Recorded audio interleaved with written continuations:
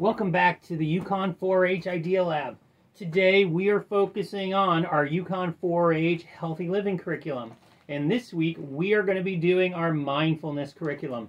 You want to look for the kit that says mindfulness, has the paper, and your palette of paint.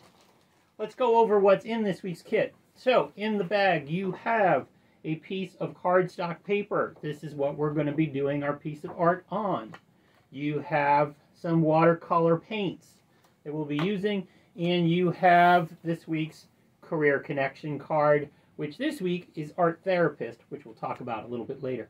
Some other things that are not in your kit that you're going to need for today's activity. You're going to need a couple of paper cups. They can be paper, they can be plastic, just something disposable. And you want a couple of different sizes. I So I have two paper cups, and then I have just a like a coffee cup lid. You just want something circular that you can use to trace uh, on your paper. And then I have a piece of cardboard that I just cut that I'm just using for a straight edge. You want two cups with water. And then you also want something, I just have a piece of cardboard here that you can put on your table so you don't get your table covered in paint when you're doing your artwork because these watercolors do tend to want to bleed through a little bit. And so you want to make sure that you're not making a mess on the table. You're going to want two permanent markers. I have two Sharpies here. I have a thick one and a thin one. And I also have some paper towels so that I can always be able to clean up as I go. What we're going to do today is we're going to make a piece of art with the focus of mindfulness. To be mindful means to be in the moment. And so our art today is going to focus on just being in the moment. And the way we're going to do that is we're going to just trace and design and be in the moment. So the great thing about this piece of art is that we don't want to have a plan. We're just going to kind of go with what's what's working for us at the time. So as soon as I can get the plastic off our paints here, You'll need to do this as well when you get your kit. Here we go. And so I'm going to take a cup and I'm going to start with my thin marker. And I'm just going to trace the shape of the cup on my marker.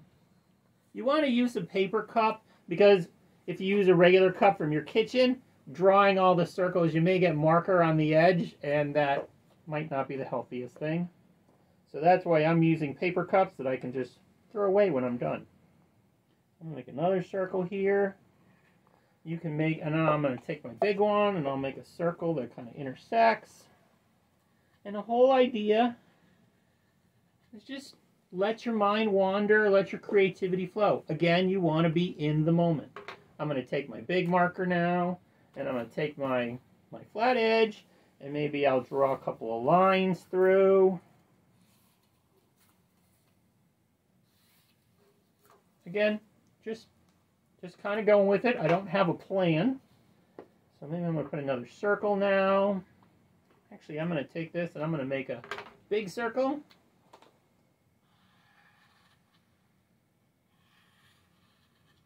You get the idea. So now when you're done, and you can make as many or as few as you want, you're going to have a bunch of designs on your paper. Okay? Uh, so now, I'm going to switch to my paint.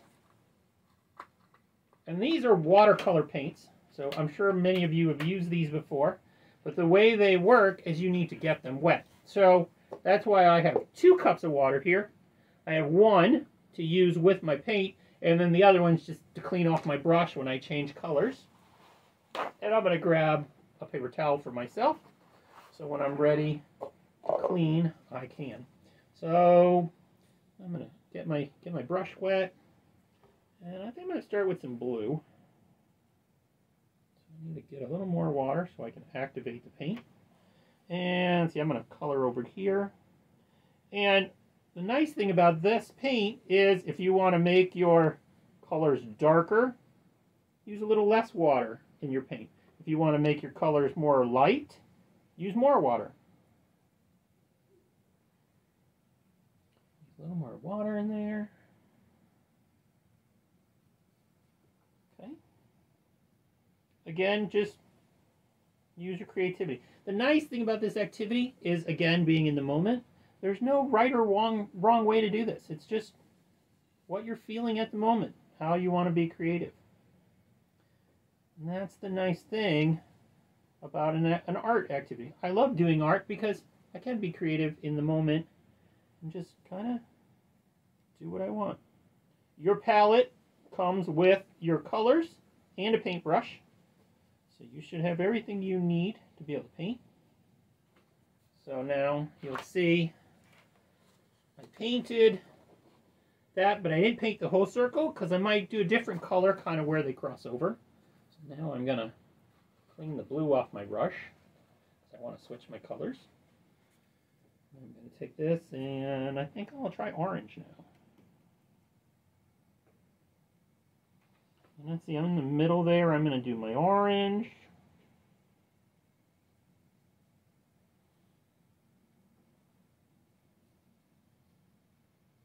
If you go over the lines, that's okay. You want to use a permanent marker, however, to draw your lines, because if you use a washable marker, when you get it wet with the water from your paint, it's going to smudge the marker and it's going to kind of make a mess. So you want a permanent marker that's going to hang on to that color.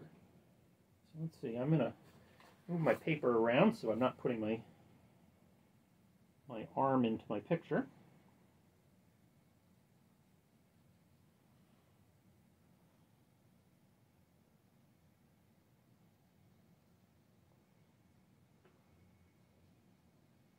And just be creative.